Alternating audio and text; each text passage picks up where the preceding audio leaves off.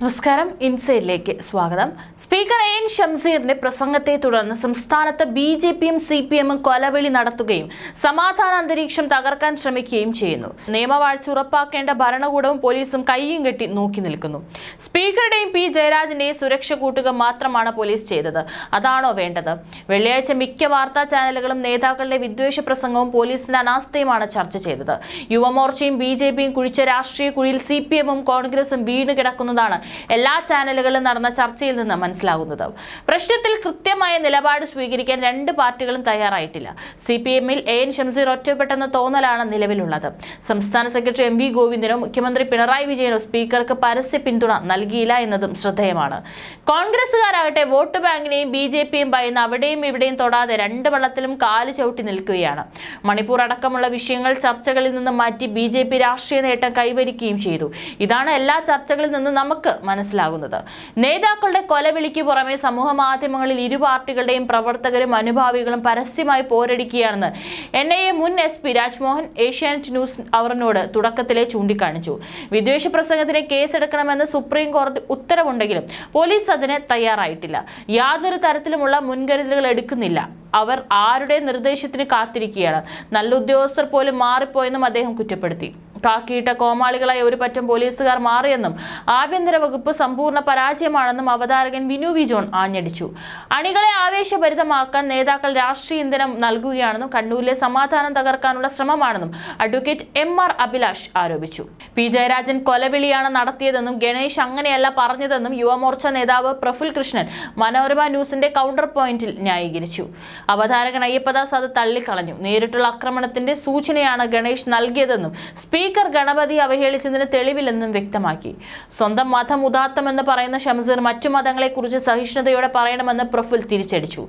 കർണൻ കൃത്രിമ ബീജ സങ്കലനത്തിലൂടെ ജനിച്ചതാണെന്നും ഗണപതിയുടെ മുഖം പ്ലാസ്റ്റിക് സർജറി ചെയ്തതാണെന്നും വിമാനം ആദ്യമുണ്ടാക്കിയത് റൈറ്റ് സഹോദരന്മാരല്ലെന്നും ബി ജെ പി നേതാക്കൾ പ്രചരിപ്പിക്കുന്നത് എന്ത് ശാസ്ത്രീയ അടിസ്ഥാനത്തിലാണെന്ന് അയ്യപ്പദാസ് ചോദിച്ചു.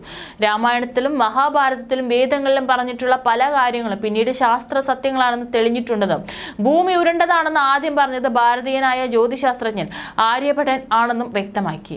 അങ്ങനെ ഇരുവരും തങ്ങളുടെ നിലപാടുകളിൽ വിട്ടുവീഴ്ചയ്ക്ക് തയ്യാറായില്ല. ഭരണവിരുദ്ധ വികാരം മറയ്ക്കാൻ ആർ എസ് എസ് നടപ്പാക്കുന്ന പല പദ്ധതികൾ കേരളത്തിലും നടത്താൻ ശ്രമിക്കുകയാണ് സംസ്ഥാന സർക്കാരും. ആ ശൈലി പിന്തുടരുകയാണെന്ന് കോൺഗ്രസ് നേതാവ് അബിൻ വർക്കി മാതൃഭൂമി ചാനലിലെ ചർച്ചയിൽ ചൂണ്ടിക്കാണിച്ചു. പക്ഷേ ഷംസീറിന്റെ പ്രസംഗം സംബന്ധിച്ച് കൃത്യമായ നിലപാട് എടുത്തില്ല എന്നതും ശ്രദ്ധേയമായി. ചൂടേറിയ ചർച്ച നടന്നത് ട്വന്റി ഫോർ ന്യൂസിലായിരുന്നു. അവതാരകൻ വേണു ബാലകൃഷ്ണൻ മൂന്ന് പാർട്ടികളുടെയും പ്രതിനിധികളെ ചോദ്യശരങ്ങൾ കൊണ്ട് ഉത്തരമൊട്ടിച്ചു. പലതിനും വ്യക്തമായ മറുപടി നൽകാൻ സി പി എമ്മിലെ വി കെ സനോജിനോ യുവമോർച്ചയിലെ ഗണേഷിനോ കോൺഗ്രസിലെ ബി ആർ എം ഷഫീറിനോ കഴിഞ്ഞില്ല. കോൺഗ്രസ് നേതാവ് പി ചിദംബരം പറഞ്ഞതുപോലെ കാവ്യ ഭീകരതയാണോ എന്ന വേണുവിന്റെ ചോദ്യം ഗണേഷിനെ ചൊടിപ്പിച്ചു. കൊലവിളി നടത്തിയിട്ടില്ലെന്നും സ്പീക്കർ ആക്രമണത്തിലുള്ള സാഹചര്യം ഉണ്ടാക്കരുതെന്നുമാണ് പറഞ്ഞതെന്നും ന്യായീകരിച്ചു. പ്രധാനമന്ത്രി ഭരണഘടനാ വിരുദ്ധമായി പറഞ്ഞ കാര്യങ്ങൾ സ്പീക്കർ പറയുകയല്ലേ ഉണ്ടായതെന്ന് വേണു ചോദിച്ചു. അങ്ങനെയെങ്കിൽ സ്വർഗവും നരകവും തീരുമാനിക്കുന്നത് മലക്കുകളാണെന്നാണ് ഷംസീർ മുൻപ് പറഞ്ഞ വീഡിയോ ഉണ്ടെന്ന് ഗണേഷ് പറഞ്ഞു. അതോടെ വേണു ഡിവൈഎഫ്ഐ നേതാവ് സനോജിലേക്ക് തിരിഞ്ഞു. ഷംസീർ മതവിശ്വാസിയാണോ എന്ന് ചോദിച്ചു. അത് ഷംസീറിനോട് ചോദിക്കണമെന്നായിരുന്നു മറുപടി. ഒരു സി പി നേതാവ് മതവിശ്വാസിയാണോ എന്ന ചോദ്യത്തിന് ഇത്തരത്തിലല്ല പ്രതികരിക്കേണ്ടതെന്ന് വേണു. സി പി എം എന്തുകൊണ്ടാണ് ഈ വിഷയത്തിൽ മൗനം പാലിക്കുന്നത്? അങ്ങനെയല്ലെന്നും ഷംസീർ മുസ്ലിം നാമധാരിയും ആ വിഭാഗത്തിൽപ്പെട്ടയാളും ആയതുകൊണ്ട് വേട്ടയാടുന്നു എന്ന് സനോജ് നിലപാട് വ്യക്തമാക്കി.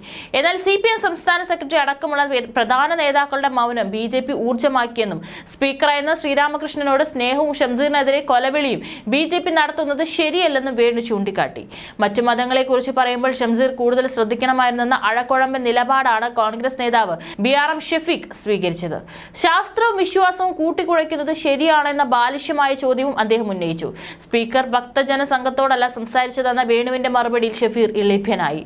ഭരണഘടനാ പദവിയിലിരിക്കുന്ന ഷംസീർ ശാസ്ത്ര അവബോധത്തെക്കുറിച്ചാണ് സംസാരിച്ചത്. ഇതിൽ മതവിദ്വേഷമില്ലെന്ന് വ്യക്തമാണ്. എന്നാൽ ഹിന്ദു മതത്തെ മാത്രം അതിനെ തെരഞ്ഞെടുത്തു. എല്ലാ മതങ്ങളിലെയും വിത്തുകളെ കുറിച്ച് സംസാരിച്ചിരുന്നെങ്കിൽ മറ്റുള്ളവരുടെ ചൂണ്ടക്കൊളുത്തിൽ വീഴേണ്ട സാഹചര്യം ഉണ്ടാകുമായിരുന്നില്ല. സ്പീക്കറുടെ ഭാഗത്ത് തെറ്റില്ലെന്ന് അറിഞ്ഞിട്ടും സർക്കാർ സി പി എമ്മും കോൺഗ്രസും മറ്റ് മതേതര കക്ഷികളും സ്വീകരിക്കുന്ന മൗനം ജനാധിപത്യ കേരളത്തിന് അപകടമാണ്.